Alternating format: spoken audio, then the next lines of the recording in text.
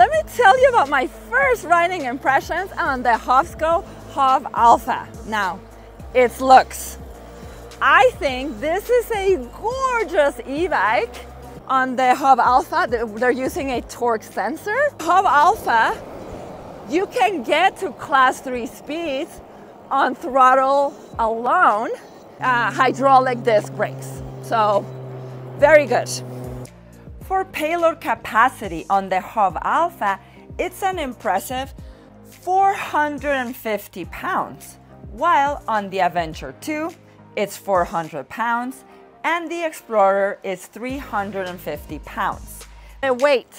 This bike is 72 pounds, the Adventure 2 is 77 pounds, and the Explorer is 81 pounds, all right? It is the lightest out of the three, which is awesome.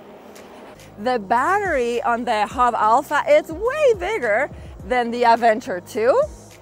And also it's more powerful. It has more torque than the other two.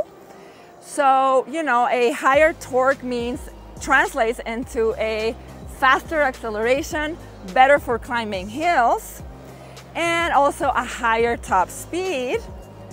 Then you have replacement parts available dealers all across the United States, meaning that they'll be able to service your bike and maintain it for you easily.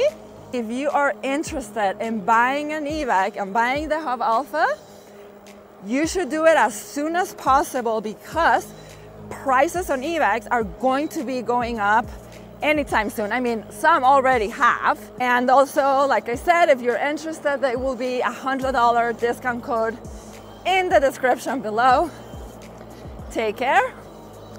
Always remember, whatever you're doing, happy riding. Stay safe.